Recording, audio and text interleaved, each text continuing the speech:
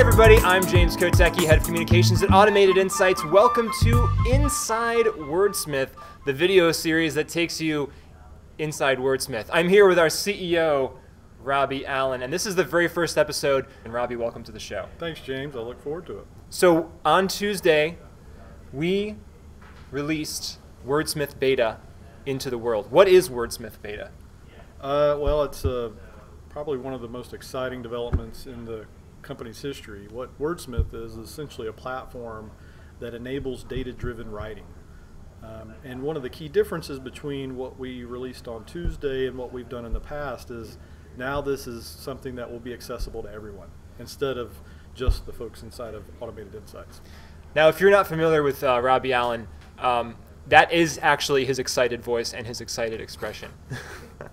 so, Robbie, tell me about like the origin story of Wordsmith Beta, and I guess we have to take it back to the origin of the company. Well, initially we, uh, or I, took sports data and created all sorts of interesting visualizations and um, you know created new metrics on top of existing sports data to provide a different view into the best players and teams and and you know different facets of sports that I covered.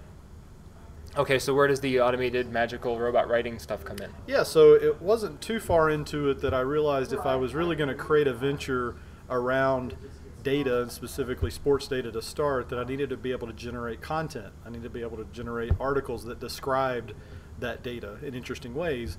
But I didn't want to have to go out and hire a lot of writers to do it because what's the fun of that? Um, and I thought for certain types of analytical writing, uh, you should be able to automate it because you can create formulas and algorithms that would essentially uh, replicate what a human does when they go through the process of analyzing data and writing about it.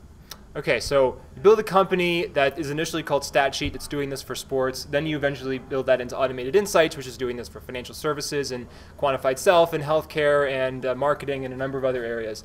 But at some point, uh, you decide to take uh, what is effectively a, a very awesome uh, service for companies of automating their data into narratives and turn it into basically a software product. So when does that decision happen? I, well, we've been thinking about it, or I've been thinking about it for several years. We've always had a lot of interest in the platform. So we initially launched with doing fantasy football uh, stories for Yahoo.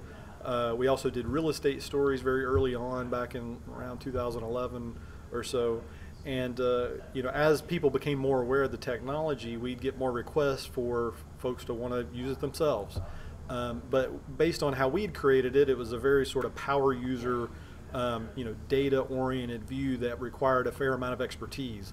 And it really took us several years of working with lots of uh, big and small clients and publishing billions of pieces of content before we really could create a platform that we thought could encapsulate the process of creating data-driven writing written stories right. in a way that uh, you know general consumers could use. But can you take me through the process? Because I know it went through several iterations of like how complicated should it be, how hard should it be to use compared to how much you can actually do with the tool. So what were some of the decision points behind how hard to make it? So originally we were going to launch or release a tool that is, you know, provided all the capabilities that we use internally.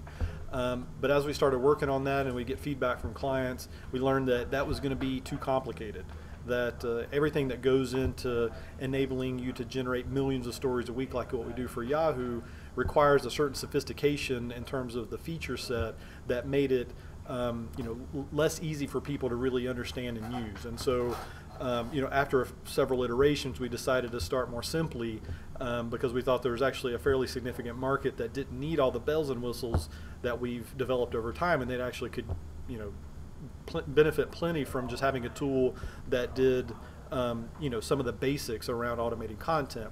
Now, for us, what what we'll do is over time we'll be adding in more capabilities. Um, you know, as we get more feedback and as we um, continue to refine the tool and make it easy for people to use. The goal is to always make it as easy as possible mm. and never burden the user by presenting a lot of features and functionalities that, while maybe really cool, um, the vast majority of them won't use. It seems like the easier thing in some ways to do is to make it harder. And the harder thing to do is to figure out a way to simplify it in a way that everybody can actually use. Mm-hmm. Yeah, that's almost a truism now in product development that uh, it's harder to create a more a simple product.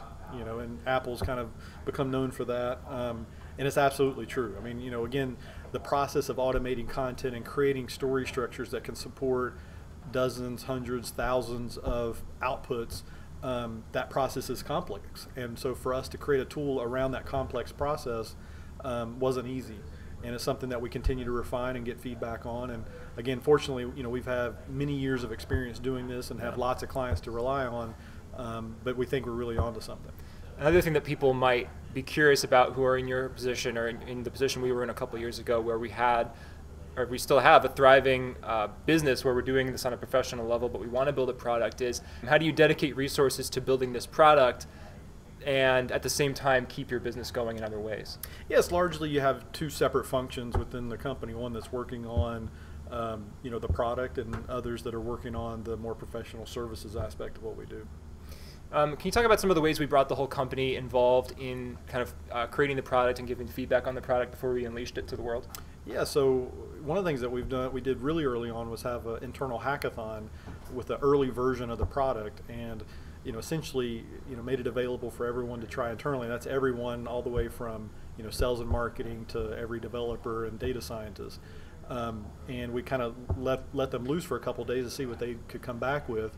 And this was again at the very early stages, and you know, it's pretty amazing some of the things that they they developed. And so we were really encouraged um, you know, just based on sort of that limited couple days of, of people trying it out.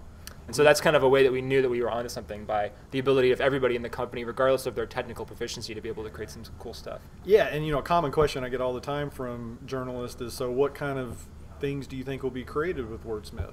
And my answer is, I don't actually know, and I don't think there's there's no way that we can predict, you know, even from the very earliest stages when we thought, you know, some of the main markets might just be sports, finance, and real estate, and then instantly we were getting, um, you know, bombarded with all sorts of other crazy kind of use cases. I think that's, you know, going to explode even more now with Wordsmith that now it's available in more people's hands. All right, so uh, what are the next uh, two and a half, three months of the beta process look like to you? Well, the reaction we got was more than what we expected, and so part of it will just be kind of handling um, and working through the backlog of all the, the, requests that we received. You know, the beta period is a bit of a learning period for us, and so there's a lot of experiments and different things that we're going to be trying out, you know, over the next few months. Uh, that's all leading up to more of a general availability launch that uh, will, you know, happen first of the 2016.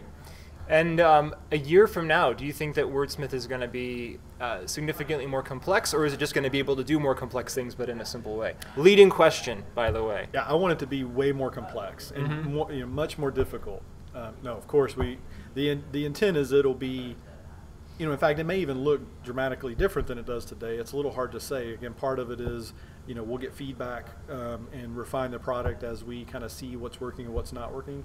But absolutely, there's going to be more of the magic uh, that we'll be building into it. That's you know very common for some of our internal implementations. Any other lessons for startups and tech companies that you've taken from this specific beta building process? Things that you didn't know before, but now you know after say a year of doing this.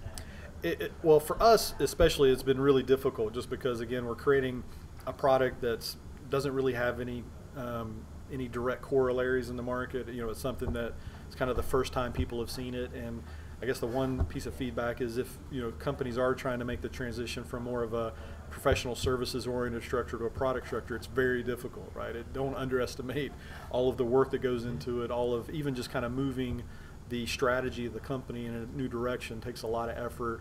Uh, both internally, externally. And there's uh, cultural differences too, right? Absolutely. Just in the way that people not that people are not excited by one or the other, but just the way that they approach work or think about how they go about their days. Yeah, you, you pretty much are completely changing the company. So, you know, it's, it's not to be underestimated everything that goes into that.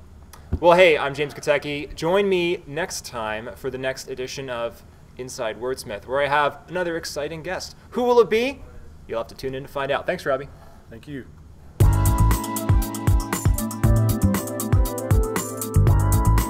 Hopeful that our interview is on fleek.